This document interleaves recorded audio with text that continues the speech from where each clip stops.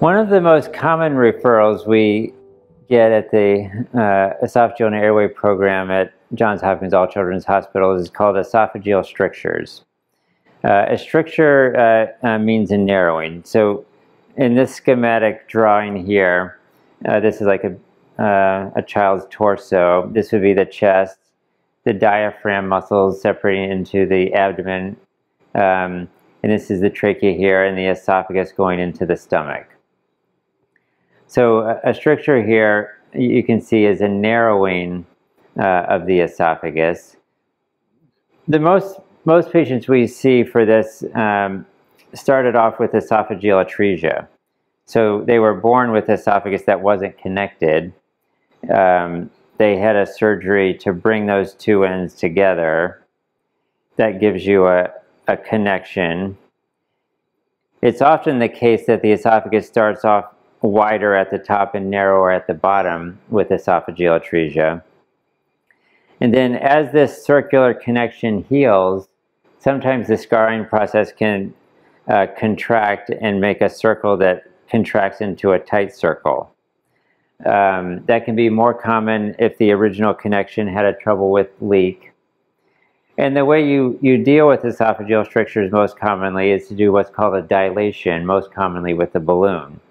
So you can uh, stick a balloon catheter down the esophagus and then inflate that balloon, uh, sort of shaped like a hot dog, if you will. It, they have different sizes, and that can try to expand that stricture. Um, and doing these dilations is easy enough, and that's done routinely sort of at, at places all over the country. Um, the problem that, that we often find is, is children who have what we call a refractory esophageal stricture, meaning you're, you're doing dilations, you're trying to do things to improve it, but it, it's, not, it's not working, like it keeps coming back. Uh, and with the, the problem is when you do a balloon dilation, you're basically forcing uh, a stricture to get bigger, but you're essentially uh, traumatically doing that. So you're causing an injury in order to force uh, a scar to get bigger. And sometimes the, the reaction of the body to that injury is just a scar again. Um, and so for children who have a stricture that's not improving after three or four dilations, especially if you're getting up to five, six, or seven or eight dilations, often that is a patient that is best referred to a specialty um, uh, or, or to a program that specializes in children with esophageal atresia uh, who, who see a high volume of that problem. Um, the techniques that, that we uh, use to look at those is, is really to understand it in detail. Uh, for, especially for kids with esophageal atresia, they can also have other issues related to their airway. But things that we will look at is one, how tight is this stricture? Sometimes it can be so tight it's that the two ends are really literally disconnected. Uh, how long is it? Is it very short or sometimes we'll see a stricture that can look like this. It's just really long. Um, it'd be unusual to be able to get a stricture that looks like that to improve only with balloon dilations.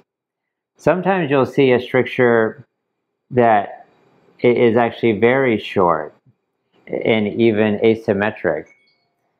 Um, the other issues we'll see with strictures is where is the stomach.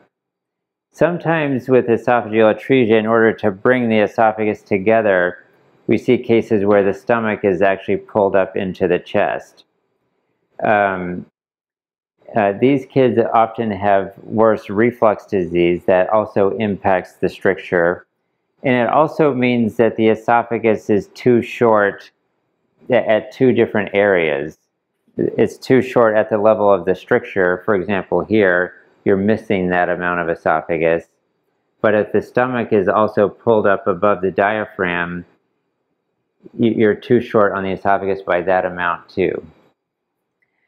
Um, and so these are some of the details we'll look at to, to decide what's the best way to handle a stricture and to be honest, it's it's it's often just uh, looking at it directly with experienced eyes to see how is this stricture responding to dilations. The, the techniques that, that are very common for us to employ are um, the endoscopic techniques uh, include steroid injections.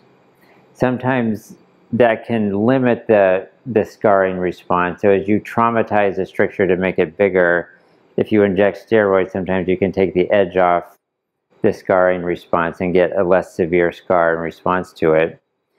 Uh, strictures like this, um, you can often do a cutting procedure through the endoscope. Um, it's not not very common for GI doctors to do that, but uh, for our program here, Dr. Wilsey, who, who sees a, a, lot of kids with this problem, is, is uh, very experienced with that. And that can make a big difference in sort of removing some scar by cutting it uh, so that, uh, which a, a, balloon often won't do.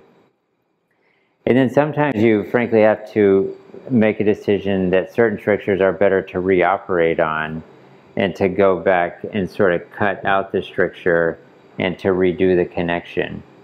Um, and for that, you you have to think about where the stomach is.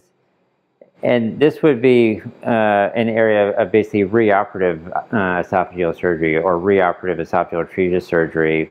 What we found is when you, if you take a comprehensive approach and look at all the different types of strictures and different aspects and options you have, um, we, we would have a very high uh, success rate to find a solution uh, so that you're not dependent on recurrent dilations and finally get to a place where you can eat well by mouth um, without getting food stuck or other problems.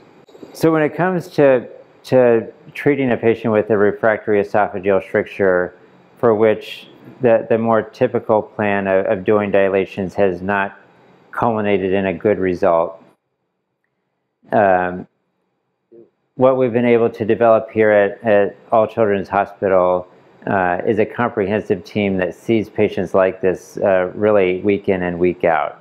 And uh, having a high volume and, and that additional uh, daily experience basically uh, allows you to customize a good solution for each patient whether we're going to get Dr. Uh, Mike Wilsey, who's an expert in esophageal treatment management from an endoscopy perspective, whether it's Dr. Jennings, myself, or Dr. Shea from a surgical perspective of surgeons who specialize only in esophageal conditions, uh, we're able to come up with a good uh, good plan to come up with a good long-term result and outcome for patients with esophageal strictures.